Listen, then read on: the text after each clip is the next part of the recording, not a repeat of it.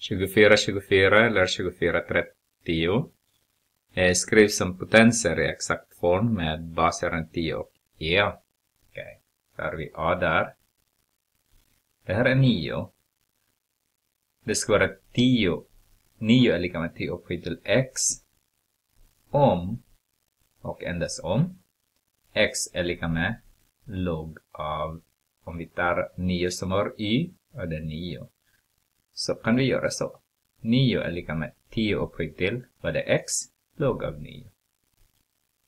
Det är samma sak med ln, så har vi 9 är lika med e upphöjt till x. Endast, och enda, äh, nej, om och endast om x är lika med ln av 9. Så har vi 9 är lika med e upphöjt till ln 9. Det vet inte jag om eh, bo boken. Jag är inte säker om ni måste räkna den här och den där. Men just nu är det exakt som vi har. Om ni måste räkna så ni måste räkna. Nej, det behövs inte, säger de. Ruta B. Så det står här 5 upphöjt till x är lika med eh, 10 upphöjt till x. Eh, kom ihåg att den här x och x där har ingenting att göra med varandra just nu. Jag vill bara visa så här att x är lika med log av 5 upphöjt till x. Då har vi 10 upphöjt till x. Vårt x här är det där. Så har vi log av 5 upphöjt till x. Och kom ihåg att vi har den här lagen som säger så att vi kan ta ner x där. Så har vi 10 x log 5 är lika med 5 upphöjt till x. Ska vi titta på C. Jag vill säga C.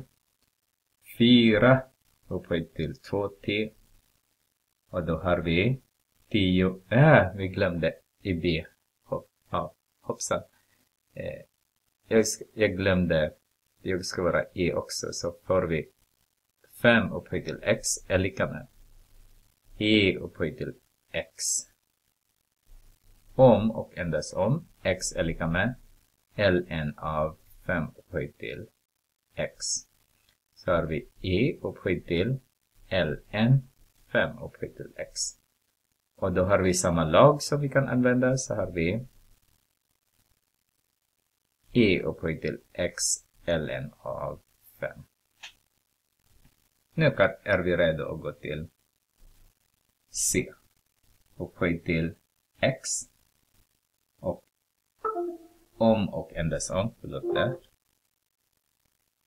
Om och endast om x är lika med L, LG eller log av 4 upphöjt till 2t. Hoppas att ni ser det. Jag skriver här igen, så 10 upphöjt till log av 4 upphöjt till 2t. Och samma lag kan vi använda. Så har vi 10 upphöjt till 2t och det med log av 4.